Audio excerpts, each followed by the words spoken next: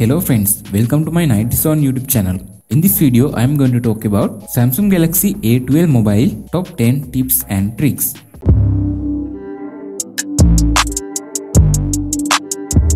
If you are new on my YouTube channel, please press the subscribe button and press the bell icon so you can get a notification after publishing my future videos. Okay, if you are using Samsung Galaxy A12 mobile or Samsung A series mobile, I think this video is very helpful to you.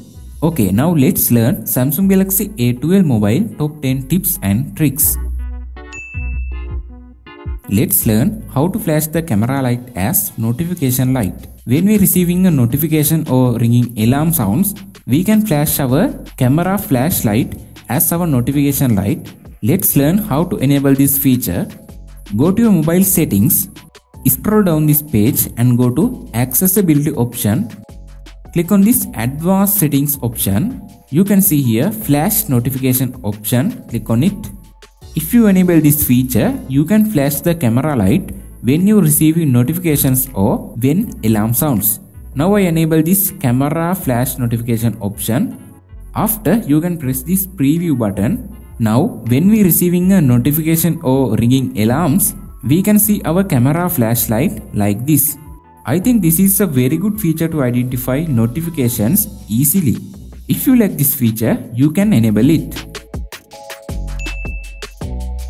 Let's learn how to record incoming and outgoing calls without using any third-party applications. In the Samsung Galaxy A12 mobile, we can record our incoming and outgoing calls using mobile settings. We don't want to download third-party applications for this. Let's learn how to do this. Click on your mobile dial pad. After, press this three dots icon on top right corner. Go to settings you can view here record calls option. Click on it. In here you can enable this auto record calls option.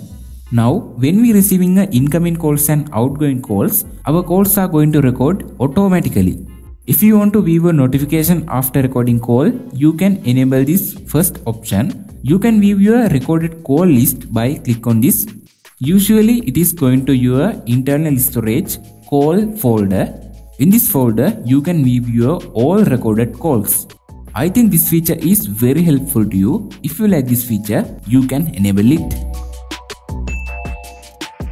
Let's learn how to enable easy mute option. It means when we receiving an incoming call or when ringing alarms, we can set our phone face to down like this. After our incoming calls and alarm sounds going to mute automatically. This is very good feature to do our works easily. Let's learn how to enable this feature. Go to your mobile settings, scroll down this page, go to advanced features option. Click on this motions and gestures option. In here, you can enable this turn over to mute option. Mute incoming calls and alarms by turning your phone face to down. If you like this feature, you can enable it and you can do your works easily. Let's learn how to remove animations and speed up Samsung Galaxy A12 mobile. Now when we open some applications, you can see a small animation preview. We can disable these animations after we can use our mobile very fastly. Let's learn how to enable this feature.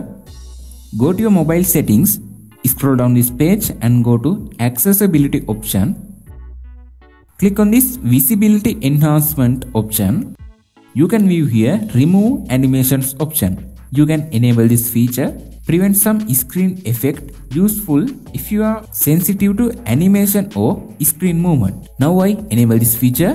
After again I open some applications and press my home key. You can see it has not any animation preview. Now our applications are opening very very fastly. If you like this feature, you can enable this option. Let's learn how to add apps button to your Samsung Galaxy A12 mobile home screen. Normally we can open our all applications like this. We can swipe our screen down to up like this so we can open all applications. But if you like, we can add apps button to our home screen. Let's learn how to enable this feature. Go to your mobile settings, Scroll down this page and go to home screen option. Now in here you can enable this show apps screen button on home screen option. Now I enable it. Now you can view this apps button on your home screen. Now you can press this apps button and you can open your all applications like this. If you like this feature, you can try it. Let's learn how to disable recycle bin on your mobile gallery.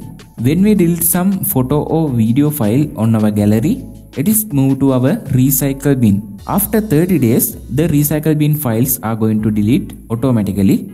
Let's learn how to disable recycle bin. After when we delete a photo or video file on our gallery, it is going to delete permanently. It is not moved to our recycle bin. Open your mobile gallery.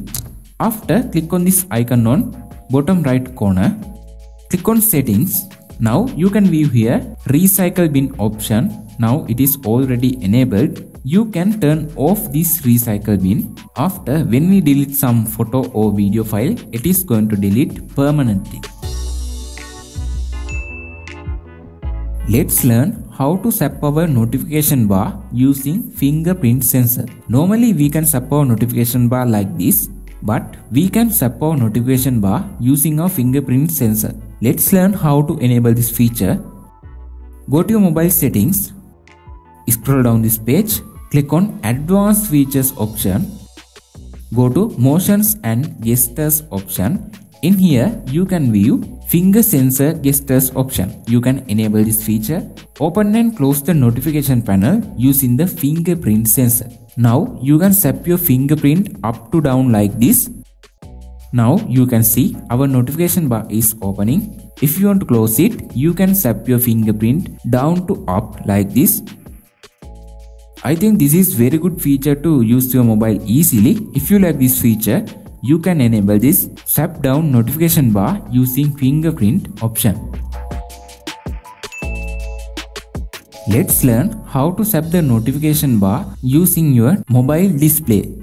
Normally we can our notification bar up to down like this but we can our notification bar by sapping our mobile display middle area. Let's learn how to enable this feature.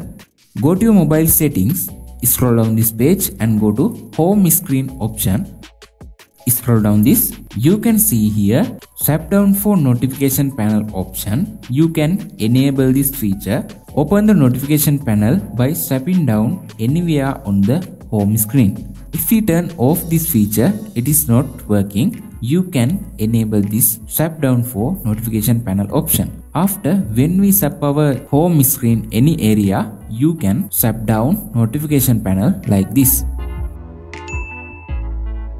Let's learn how to do multitasking run two applications in one time. Now I open some applications. Okay, after press your mobile recent key.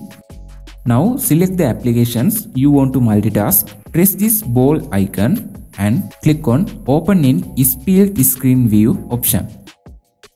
Our first application is now selected. You can select your other applications in here Okay, you can run two applications in one time using this multitasking method. I think this is very helpful to your works. Let's learn how to use application as pop-up view. We can use any applications in small window using this Samsung Galaxy A12 mobile. Let's learn how to do this. Now I open some applications. After press your recent key now press this ball icon. After you can click on this open in pop-up view option. Now our application is open in small window. You can drag and move it to anywhere on your screen. You can maximize this application. You can minimize this application and you can adjust the application opacity. I think this method is very helpful to you. In this video, I have talked about Samsung Galaxy A12 mobile top 10 tips and tricks. You can watch Samsung Galaxy A12 mobile more tips and tricks videos on our channel. So if you like this video, add your comments, thumbs up. Okay, if you like this video, please press the subscribe button and press the bell icon so you can get a notification after publishing my future videos. Have a nice day. Goodbye.